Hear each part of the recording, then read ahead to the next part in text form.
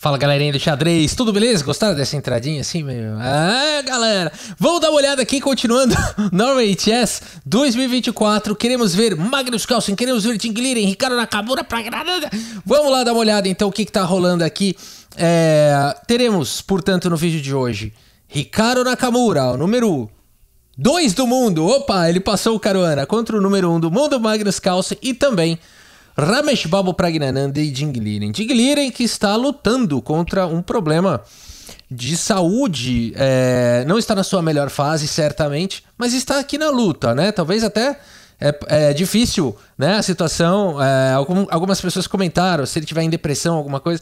Não sei se é melhor ir jogar ou se é melhor ficar em casa. Talvez só o médico dele realmente pode saber, né? Porque às vezes a, me a, melhor coisa é realmente estar aí, mesmo que, né, for ficar em último lugar, pelo menos ali, né, ocupado, tentando, né? É, enfim, né, difícil a situação do Jingliren. Vamos dar uma olhada então nessas duas partidas, começando com o Ricardinho Nakamura, que abre a partida com D4, e o Carlinho segue aqui com o cavalo em F6. C4, E6, temos cavalo aqui em C3, D5, indo para o Gambito da Dama recusado, aqui caiu por outra ordem, não é? é seguimos aqui com o lance peão toma, peão toma e bispo em G5 cravando o cavalo. A variante posicional das trocas. Rafa, você decorou isso? Não, tô lendo aqui na. tô traduzindo aqui, a, aqui na tela.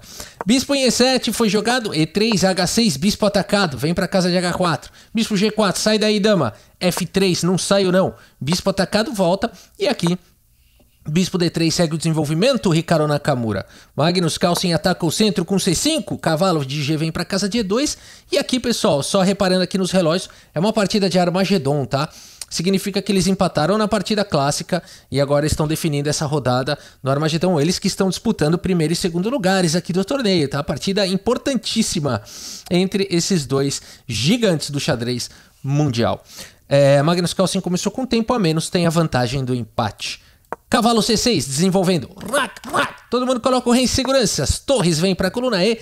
Bispo C2, ameaçando checkmate em poucos lances. Vem para cá, vem para cá, vai você para lá. Se bem que não é mate, né? O rei ainda consegue escapar. Então não tá ameaçando nada. A partida seguiu com torre C8 e agora cavalo vem para F4.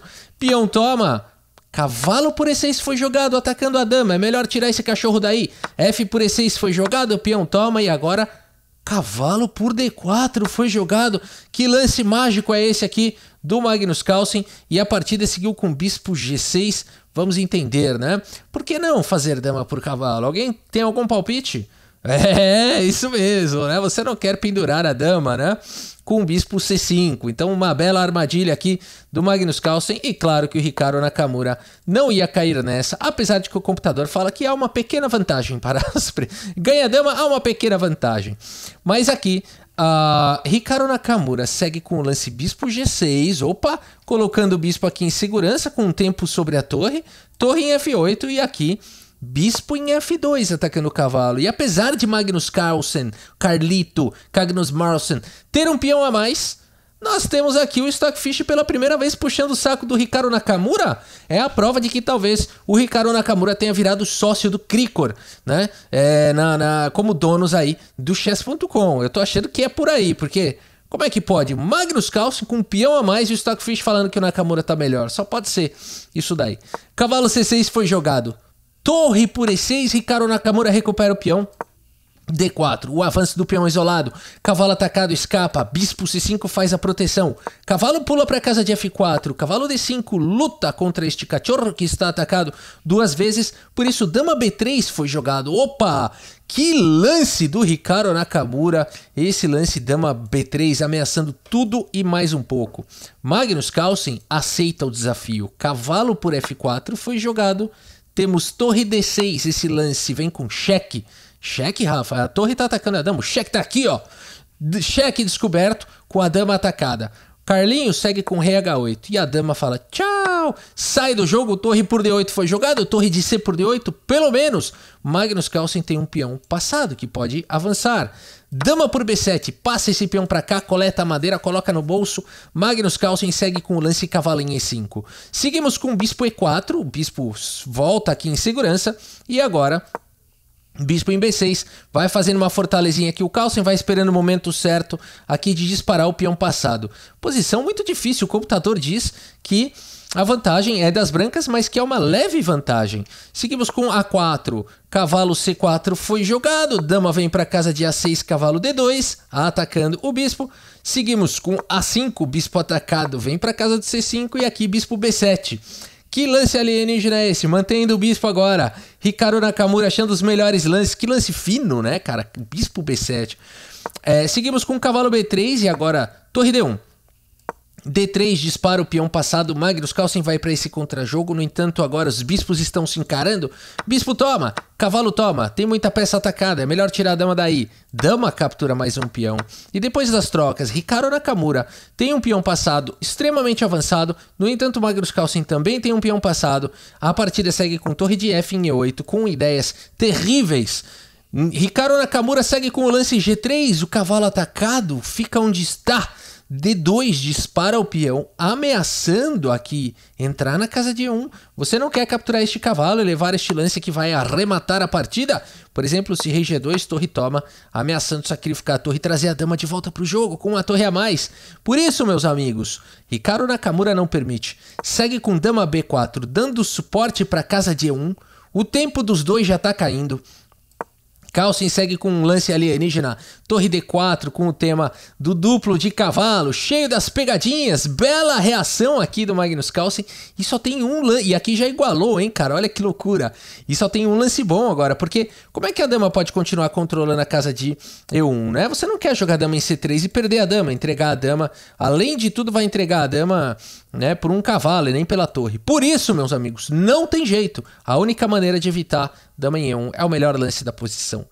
Torre por peão jogado pelo Naka, temos torre toma e torre toma. E esse final dificílimo, aonde Magnus Carlsen tem uma peça a mais, é verdade, mas Ricardo Nakamura tem três peões a mais, sendo que dois deles são peões passados e conectados. Difícil esse final, meus amigos. Cavalinho E6 foi jogado pelo Carlito. B4 dispara com o peão. Rei G8 dá até desespero esse lance, né? Rei G8 você fala, mas tá tão longe dessa turma aqui. E Ricardo Nakamura segue disparando. Torre A8 ataca o peão, torre A2 faz a proteção. O rei, o rei tá muito longe. Rei F2 foi jogado, o rei tenta chegar, mas o peão dispara. Cavalo C5 tenta parar os peões, mas agora o rei chega em E3. Rei D6, até que o rei chegou a tempo.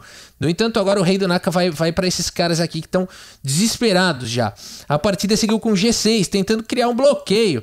E aqui Ricardo Nakamura segue com H4, falando eu vou estourar esses caras aí. Rei D5 foi jogado, rei G4, rei vem para casa de C6, H5 tentando abrir caminhos.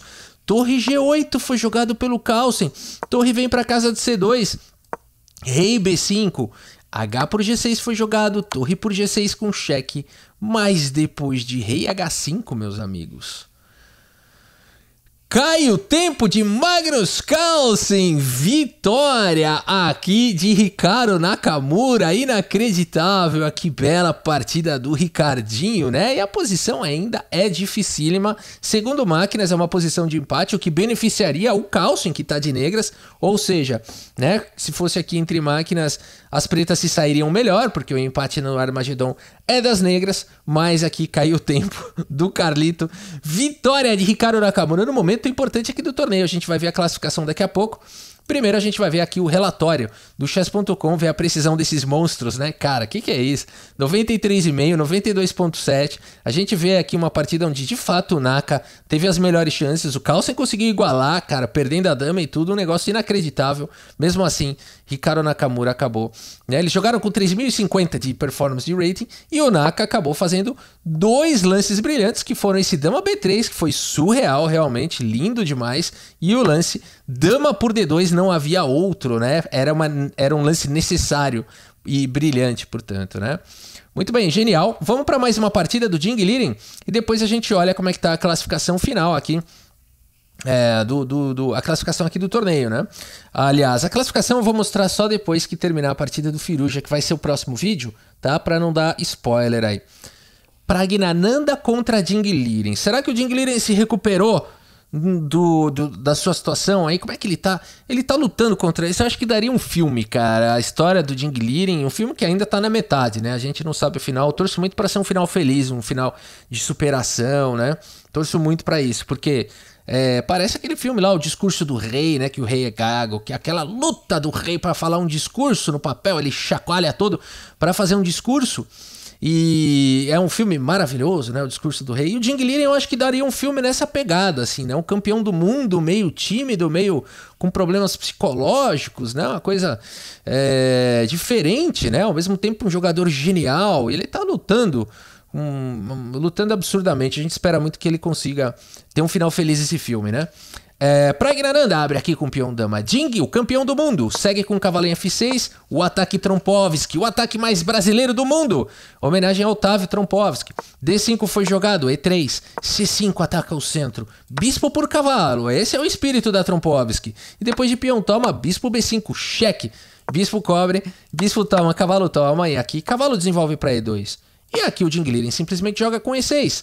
Rock coloca o rei em segurança, dama C7, belo posicionamento das peças do Ding.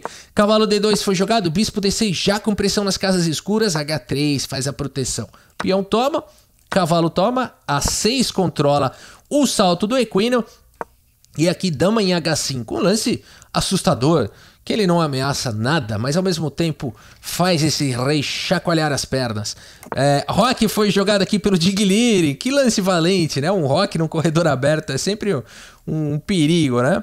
É, a partida seguiu com C3 e agora o rei vai para H8, torre vem para coluna D e o Ding segue com F5. Tá bem o Ding aqui, olha aí, né? Apesar dessa abertura parecer estranha, tá tudo certo, não há nenhum problema no momento. Cavalo de 2 em F3, cavalo vem para F6, dama atacada, dá um passo para frente, dama em E7, vem proteger todo mundo. A partida seguiu com C4, tentando abrir linhas, peão toma, foi jogado, aceitando o desafio. Cavalo C5, é, cavalo G5 foi jogado, os computadores falam que era para jogar esse lance aqui, ó, cavalo C6, né? é um lance difícil de encontrar, né? Mas é, é bem criativo. Eu acho que o Danilo Dubov jogaria, talvez Vassili Vanchuk, né? Jogadores talvez a Lireza Firuja, é, com a ideia aqui de sacrificar a torre no bispo, né? E ficar com uma torre a menos aqui. No entanto, é, se eu não me engano, foi o Anish Giri que sugeriu essa linha ao vivo durante a partida. Que aqui você teria cheque perpétuo, né? Conseguiria o empate aqui, depois de sacrificar, né? Tudo isso. Teria um empate maravilhoso aqui, a linha do Anish Giri. Mas a partida seguiu com o cavalo G5 aqui. É... Enfim, com uma pressão enorme aqui na casa de H7, por enquanto protegido pelo cavalo. Seguimos com torre de A em D8. O Ding vai se defendendo do jeito que pode. Torre D2, torre vem para coluna G. Talvez pensando em jogar um torre G6, torre aqui na coluna D, e agora a torre G6 foi jogada, a dama atacada vem para H4, e aqui pressão total na coluna G. Um lance que os computadores desgostam muito. Disseram aqui, né, as máquinas, que o melhor lance para Dingliren seria Bispo B4, com alguma vantagem aqui para as negras. A gente fica até, né, torcendo aqui, muito sonhando com Dingliren. No entanto, agora começou a pressão do relógio, né? E o Ding acaba não encontrando essa continuação é, que não é tão alienígena, né? na que o cavalo simplesmente está cravado e as pretas têm uma posição melhor nessa variante. E é, infelizmente o Dingliren não encontrou esse lance, tirou o defensor do bispo, né? Com esse lance agora torre de D em G8 e agora Pragnananda vai tentar capitalizar em cima disso. O garotinho Pragnananda segue contente aqui, porque agora ele foi pro contra-jogo. Esse lance protege o cavalo, mas ataca o bispo agora do Ding que tá em defesa. Talvez a melhor continuação aqui fosse jogar a torre toma é, e depois centralizar o cavalo aqui para fazer o bloqueio para cima do bispo e jogar aí com duas qualidades a menos. Já bem difícil jogar isso, né? Provavelmente não vai dar certo. Os computadores dizem que pode até sacrificar aqui, ó. Né? Linhas maravilhosas, né? Linhas, linhas de. É, essa é a linha do Steven Spielberg. Mas aqui, meus amigos, puxa, que virada agora do Pragnananda, né? Vai pro ataque aqui para cima do bispo. E aqui o ponto todo é que se você tirar o bispo, por exemplo, o bispo B8 foi jogado, a torre tá chegando aqui, né? E o cavalo tá amarrado na defesa do peão de H7. Então já tem problemas severos aqui com um lance errado. O Jing Liren agora se complicou inteiro. Jing segue com H6 mas depois de simplesmente torre por D6, meus amigos. Jing Liren, que estava com uma forte vantagem nessa partida, abandona aqui a partida. Abandonou porque não dá mais, né? Aqui é, o peão tá cravado, mesmo que você capture aqui em G5, tá vindo o cavalo toma, mas tá caindo aqui em H6, né? Eu vou apagar esses lances porque isso não aconteceu aí na partida. E vamos puxar o relatório, né? Aqui do chess.com acabou nessa posição, né? Torre por, por D6, né? É, vamos puxar aqui o relatório do chess.com, partida dramática, mais uma dramática para o Ding Liren, né? Ele jogou tão bem, ele estava melhor.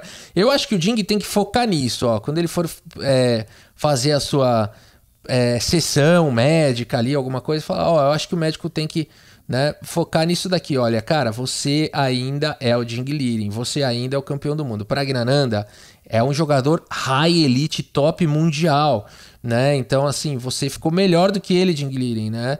E na pressão do tempo, claro, né? Vamos trabalhar essa questão da, da pressão, né? Que eu acho que é isso que está incomodando o Jing Liren, a pressão de ser campeão do mundo, a pressão de, de, né? de, de, de, de ele achar que ele tem que jogar bem, os holofotes, né? Eu acho que é essa pressão né? Agora a pressão do relógio, né? Press... Todas essas pressões envolvidas em ser campeão do mundo, né? E tudo isso torna ainda mais impressionante o Magnus Carlsen é, ter sido campeão do mundo desde 2013, né? Até é, recentemente, né? Então, 10 anos aí como campeão do mundo, Magnus Carlsen, né? É, aguentando esse peso psicológico todo, realmente a gente vai percebendo o tamanho do Carlsen quando a gente olha essas outras referências, né? A gente vê a dificuldade que realmente é, é o peso da coroa, né? Meus amigos, a gente segue acompanhando o Norway Chess 2024. Em breve a gente mostra o vídeo da partida do Caruana contra o Firuji e também a classificação do torneio. Espero que vocês tenham gostado das partidas e do vídeo. Muito obrigado pela sua audiência, um grande abraço para todos vocês e até a próxima. Valeu!